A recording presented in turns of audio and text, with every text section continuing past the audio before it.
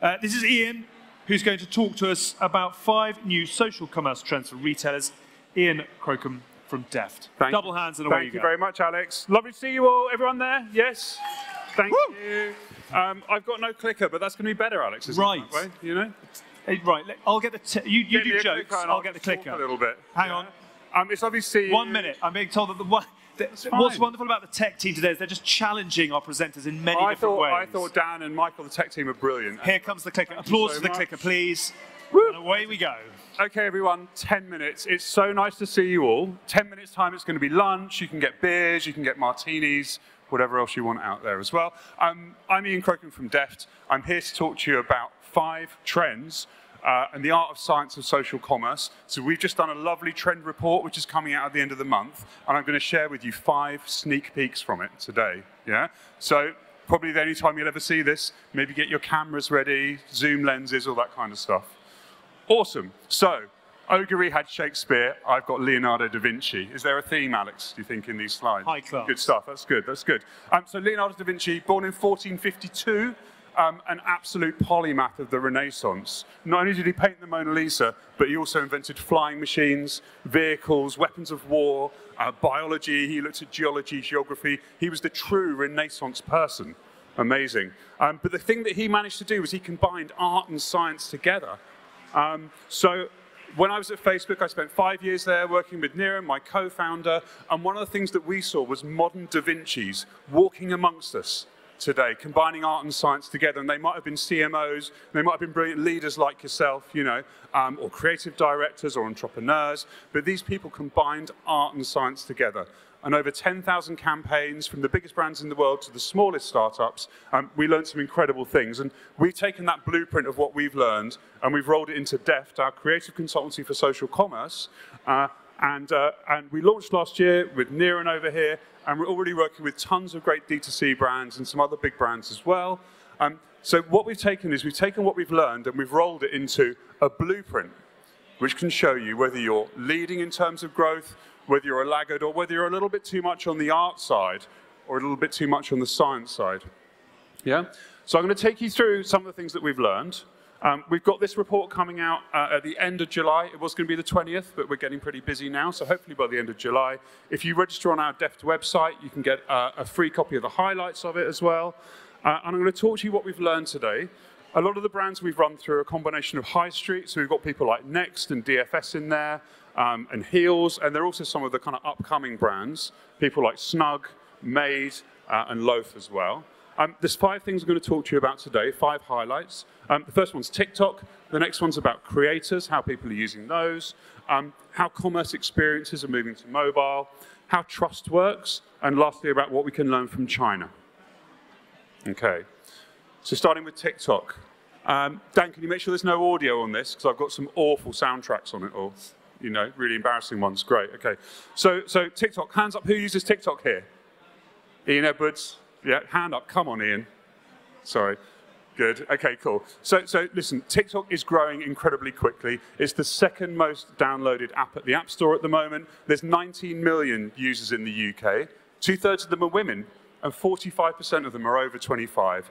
So it's not just kids on there at the moment. Um, so it's a super interesting place. Most of the brands on this social commerce wave were not present on TikTok. And there's a good reason for that. The ad products don't work very well at the moment. Yeah, so there's no direct response or e-commerce products, but they're coming out over the next couple of months. They're going to be releasing uh, catalog-based advertising and also collections as well. Um, but what we think is really interesting is that your audiences are on TikTok at the moment. So this is a good example for Dunelm, who are actually pretty good at social commerce. Um, and these are some of the trends that we're seeing on TikTok at the moment. This is the eight pound Dunelm mirror trend. So basically, for eight quid, you can buy one of these mirror panels, um, and people are stitching them together and putting them in their hallways to make their houses look bigger. Total genius trend. And there are hundreds of posts about these on TikTok at the moment, and Dunelm is not part of that story. Yeah? So, I mean, this happens to all of us. There's more new channels growing up than we can deal with. Um, but if you're thinking about TikTok and thinking about your audiences, go and have a little look about what consumers are doing with your brand at the moment, because they're doing some really, really interesting things.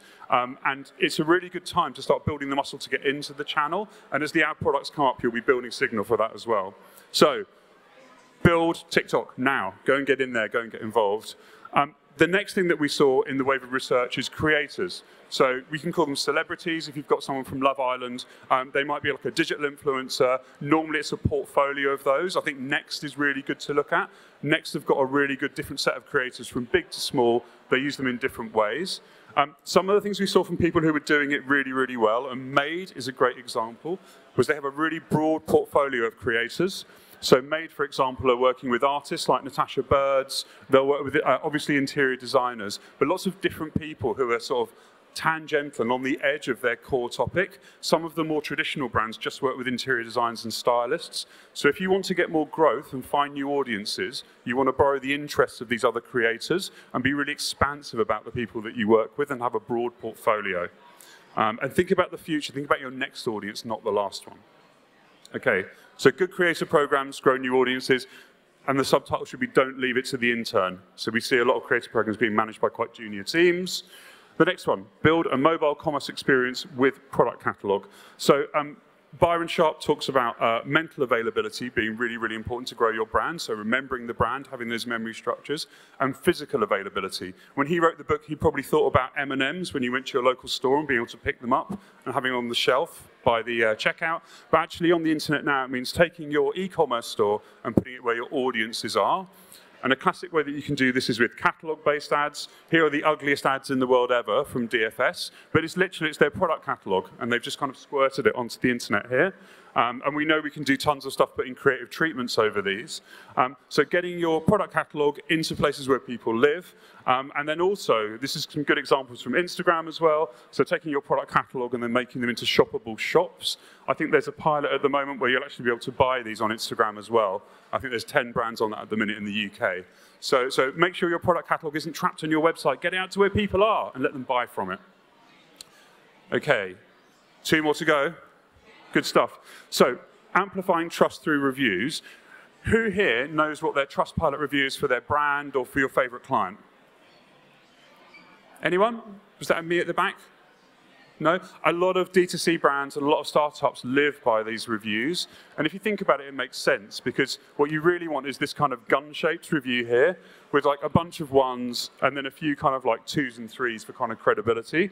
And what you don't want is this kind of deflated swimming pool kind of thing, which is a bit sort of a bit of a mess, but lots of really, really bad reviews as well. So, so for a lot of the startups and scale-ups, no one had heard of their brand. You hadn't walked past kind of Eve or Made or Snug Sofas on the high street, so you had to really invest in reviews, and those brands have done that really, really well. And I think for a lot of traditional brands, they didn't feel they had to. So who can guess who's the top of this uh, Trustpilot review for these retailers here? Any ideas? Audience participation? No, no, no, not enough drinks yet. Okay. How about the worst ones? Who could be some of the worst ones down here? No, I'll, I'll, imagine that you're telling me. I'll imagine that you're telling me. Well, what's quite nice is actually that a couple of these quite traditional performance brands are doing really, really well with their reviews. So you would expect people like Snug, who we work with, even Made, to be good because they, they, they really manage their reviews, they get respond to negative feedback very quickly. But what I loved was that these sort of traditional performance marketers like Dreams and DFS, who would have spent lots of money on TV and really understand their sales funnel, like they understand the power of the review um, when they're selling to people. And actually, on the bad list, um, I was quite surprised that Next were down there. Like Next are generally doing brilliantly. They got lots of investment from their board a couple of years ago, and they've grown incredibly on their kind of social commerce. This is the one area they're probably a little bit weak on. Um, Amazon, I love that because really who's going to review Amazon, you know. Um, they've got their own reviews anyway. And B&Q as well, who do amazing brand work and really great comms, but seem to not be able to follow that through into e-commerce as well. So, so have a think about reviews. Reviews are a way that you syndicate trust to other people. And I think increasingly as Snug are going to be competing with B&Q or whatever, as you're competing against different types of companies, you need to be really on top of this. Okay. Last one then. Um, looking to China. So, so we see lots and lots of brands at the moment uh, looking to China to get inspiration. Um, the Chinese social commerce market is incredibly sophisticated. Um, I think the value of it is 10 times the US today. Um, and, the, uh, and it's really a combination of working with key influencers, so these key opinion leaders, KOLs, having live commerce, having gamification, and having the ability to purchase within these within the platforms as well. Now, we don't have those platforms at the moment in the UK. We don't have things like PDD, um, but we do have lots of platforms like Instagram and Facebook and TikTok where you can kind of fake that experience. Um, so what we're seeing a lot of really progressive brands doing is um, trying out a little bit of this. Dan, you might need to click now to get this video to run. Look at that, like a dream, thank you. And sound off as well. Cool, thank you. So basically what we're seeing lots of brands doing is trying to fake that experience because you can't buy directly from Instagram in the UK at the moment. Um, people are doing this. This is an example from Snug, uh, and this is something that we did with them. So we ran a one-hour live ex Instagram experience with the wonderful Troy the Magician and Stuart from Breathworks as well to build hype about the launch of a new sofa. Um, we got 10,000 registrations for people, so that's 10,000 new leads for sort of two and a half grand sofas for Snug. Very big engagement and their biggest ever traffic and sales day off the back of it. So these things are quite hard to link together. The platforms don't work. But if you can build the muscles today and start to learn how you can engage your audiences, then you'll be really well set when things like Instagram product catalogs available and straight through purchasing as well. Amazing. So we are nearly there now. Um, in summary, um, the art and science of social commerce, you've got to be able to mix art together and science. You need your technical prowess, your platforms to get scale, but you need to have intuition, creativity, and great ideas to get through to people. Um, we've got this report coming out later on in July. If you go to our website, you can register for a copy of it. I'd be very happy to talk any of you through it. Um, these are the kind of key action points that we've seen off of this first wave. Um, make sure you're understanding what's going on in TikTok and you've got a plan to invest in it at least. Uh, make sure your creative program is not being managed by the intern and it's a strategic thing that you're doing. Uh, make sure your mobile commerce experience is using catalog. Um, we know that on Shopify, for example, 80% of all visits to all Shopify sites are on mobile, and 70% of all purchases are on mobile as well. So you need to make sure that you're fully mobile optimized on commerce. Um, understand what's going on with reviews and take control of them if you don't have control. And lastly, look to China to inspire your playbook. Um, Fantastic. Wilson, thanks so much for your attention. I hope you're enjoying Mad. Now it's straight to lunch. Alex, is it back on at two? It is. Amazing First of all, stuff. let's have a massive round of applause for Incredible Ian and Deft. Very deftly done. Thank you very much, Alex. Well That's why we named it.